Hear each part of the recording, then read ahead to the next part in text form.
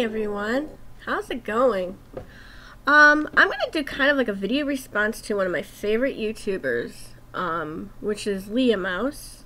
I highly recommend her. I have the link to her two channels below. Uh, she's somebody I've been watching for quite a while right now, and I think you'll enjoy her if you've never seen her. And please subscribe to her and tell her you came from my channel.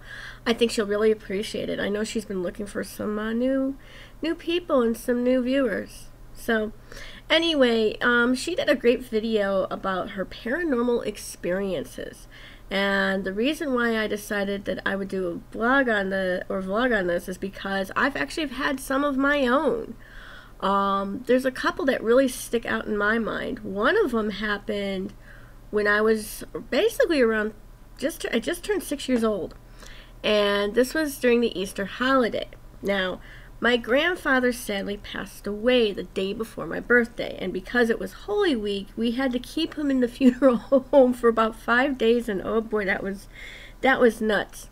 During that time, my mother ended up having laryngitis, and that day we were going to the funeral home is really where things had happened. Um, we were, my mom had told me that throughout the day she would be smelling certain smells that she related to my grandfather. One of them was his cologne.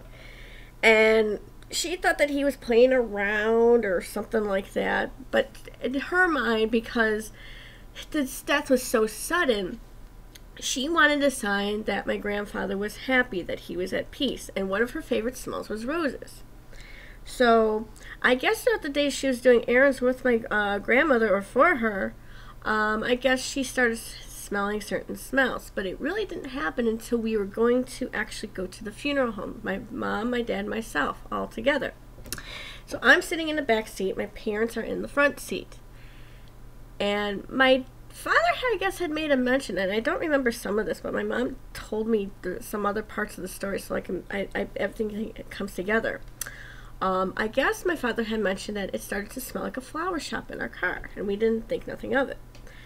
At least about halfway to the funeral home, out of nowhere, we smelled this strong smell of roses. Like somebody had sprayed, suddenly sprayed rose perfume inside.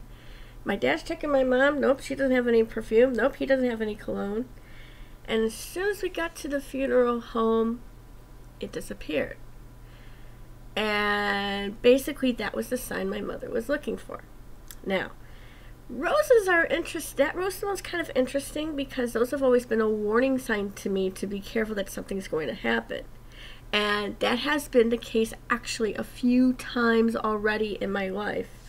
It happened to me when I was in Korea before certain questionable things happened. So, my grandfather, in a way, has always protected me. Okay, so there's something that could ha- that that that's another that's one of those. Um, I know they often say that when spirits appear to you, or maybe like somebody in your life who's died appears to you even in a dream, that means they're asking for prayers and they're asking, you know, just just to be recognized, if you will. So perhaps if you have gone through something like that in your life, that might be something as well. Now, the cologne smell that is also associated with my grandfather, I actually have had experiences like that before in my life too.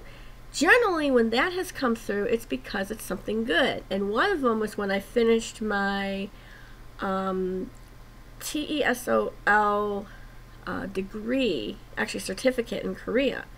And I was with my friends, and it was like right on my right, well, right, well, right shoulder. No, actually left shoulder, if you will and it was a smell of cologne. Like he was patting me on the back. Now, when I mentioned it to my friends, they they, they kind of freaked out about it, but that was always the hey, you did a good job sign or thumbs up sign. Now, I've also had the smell of a certain perfume that my grandmother would used to wear.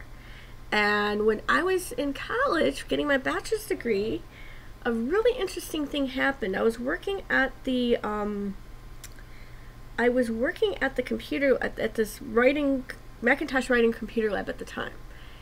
And there was always this one particular spot I'd go to, and it was this very strong perfuming smell. And it was right near the printers.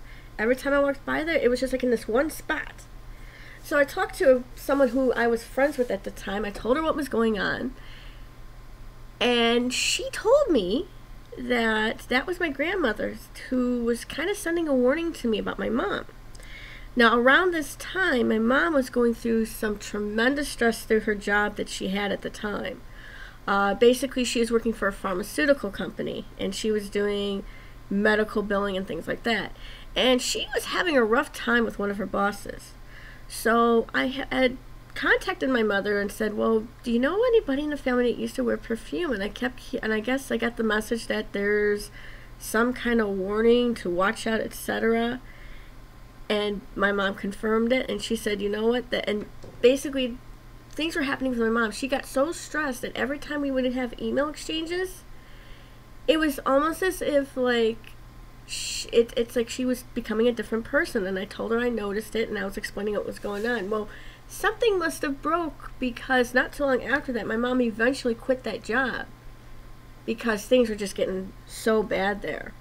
But two and two together, there you go. So that's something that goes on with my uh, ma- with my mom. Now, as far as hearing sounds and things or seeing things, I haven't had anything like that. For me, for some reason, it relates to smells that's always been my thing. And my grandmother has come through on warnings on I don't know how many times.